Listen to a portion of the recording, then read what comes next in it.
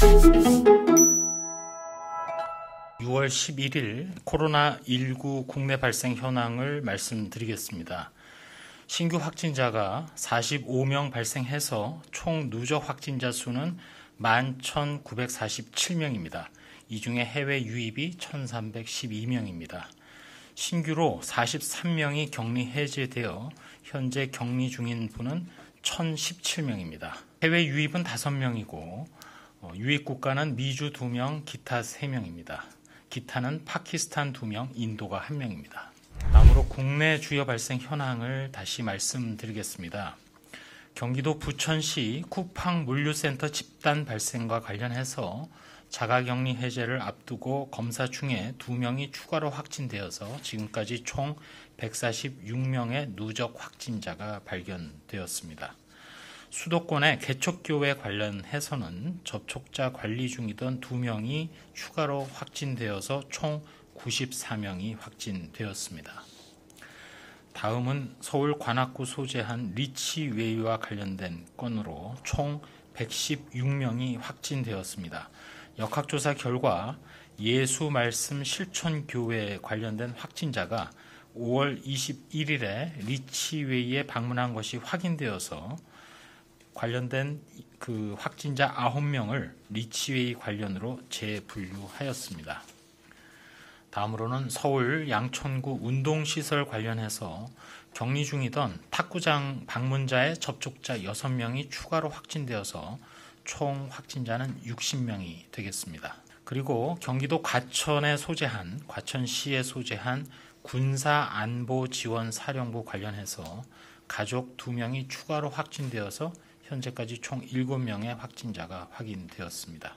질병관리본부 국립보건연구원에서는 코로나19 방역을 위한 연구 그리고 특별히 진단기기 개발 등을 지원하기 위해서 코로나19 양성검체를 분양키로 하였습니다.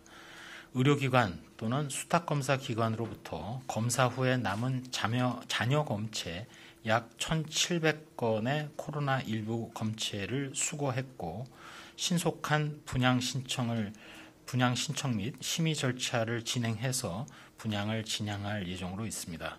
분양 신청이 가능한 기관은 체외 진단 의료기기를 개발하는 업체, 그리고 의료기관, 임상검사기관, 국공립 연구기관 등이며 검체 이용 목적에 적합한 연구시설, 즉 목적에 따라서 BL2 또는 BL3의 실험실을 보유하고 있어야 합니다. 까지 말씀 올리도록 하겠습니다.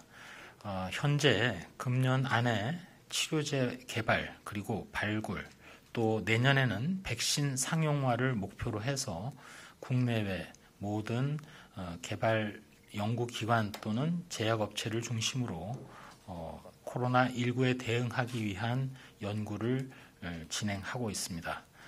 그러나 치료제와 백신이 사용되기 전까지는 거리 두기와 개인 위생으로 유행을 잠재워야 할 상황입니다. 우리나라의 현재 상황은 매우 아슬아슬하고 긴장된 상황이며 동시에 긍정적인 면 그리고 부정적인 면이 교차되고 있습니다. 최근 위중도가 높다고 알려진 취약계층인 어르신들이 자주 모이시는 일부 시설 그리고 환경에서 거리두기 자체가 취약하거나 또 그러한 장소에서 모임이 늘어나고 있다는 점도 매우 부정적인 측면입니다.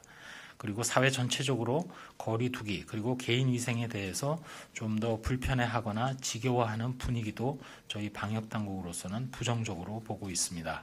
말씀드렸던 부정적인 면을 하루빨리 줄이고 긍정적인 면을 더욱 더 크게 하는 방향으로 노력하겠습니다.